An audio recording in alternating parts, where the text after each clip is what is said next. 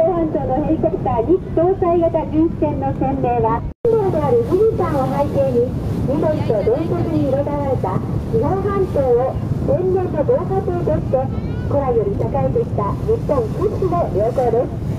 明治11年の清水鳩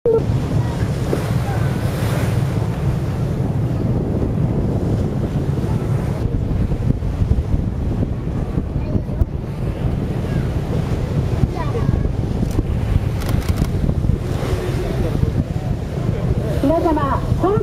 線無限選手前方をご注目ください。先頭は下田海上保安部所属、巡視艇伊豆波です。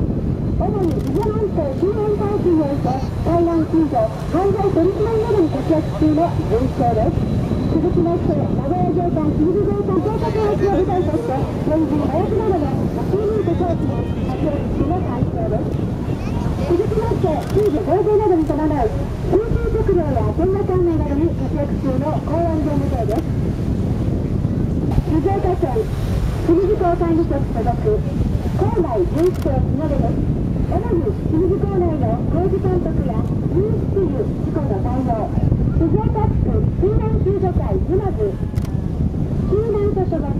救助艇 MRJ 最後は清水海上保安部所属巡視艇ノートです主に駿河湾周辺周辺海域において海難救護犯罪取り締まりなどに活躍中の運行です以上で当然道を終了いたします。